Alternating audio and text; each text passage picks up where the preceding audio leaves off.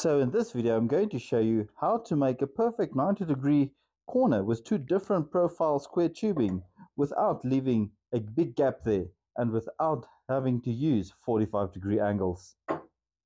Well, all too often, um, what people would regular, regularly do when they want to join two uh, different sizes or, or, or profiles of square tubing together on the corner like that, a 90 degree corner, what most people will most of the time do, uh, all too often, without even realizing it, is cut two 45 degree angles like this.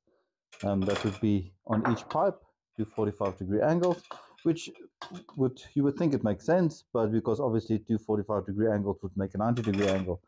But like you can see, this obviously will not be the ideal joint. This will still be a 90 degree joint, like we can see over there but there is this huge gap in the middle, which is not ideal. So what is the correct way of joining these two together then? Well, the, the correct way is quite simple actually. We'll turn these around and get the different corners. So what we want is a joint like that. So first what we'll do is we'll just make sure that this is 90 degrees. We'll put a right angle, a square angle there in the corner. And then what we're going to do is we're going to mark that space where the smaller piece uh, uh, joins together with the larger piece. And then we're going to move this over here. Um, presuming of course that this is a square cut but for the purpose of this we're just going to put a square there to make sure that it is correctly cut or that it is square.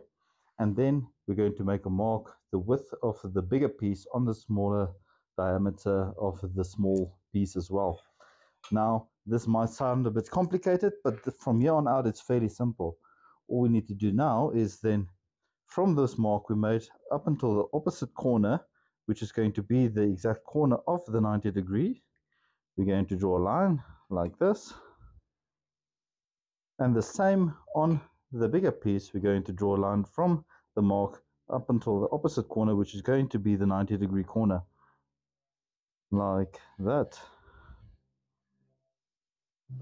and we are then going to cut these two pipes on those marks and we'll will then see if this odd angle cut would make a perfect 90 degree corner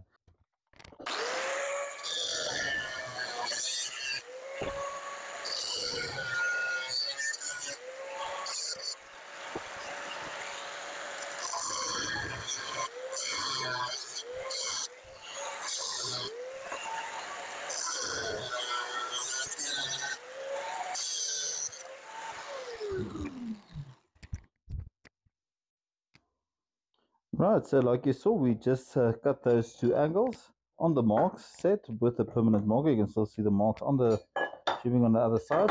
It's just a bit cleaner on the side, so I'm just going to do this. We're going to put them roughly together like that. We're going to take, move this up a bit, take a 90 degree angle like this, put them together and look at that.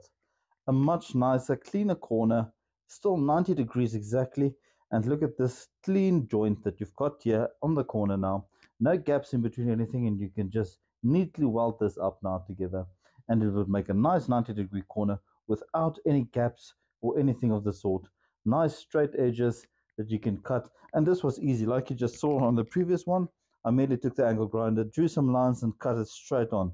There might be a slight half a millimeter gap there, but well, if you put it at a 90 degree angle like this and weld it up, it would be a perfect 90 degree square. Well, if you do like this video, be sure to give me a thumbs up down below and also subscribe to the channel if you haven't done so yet. Also, if you wish to support my channel, please have a look at the super thanks icon down below. So until next time guys, keep DIYing.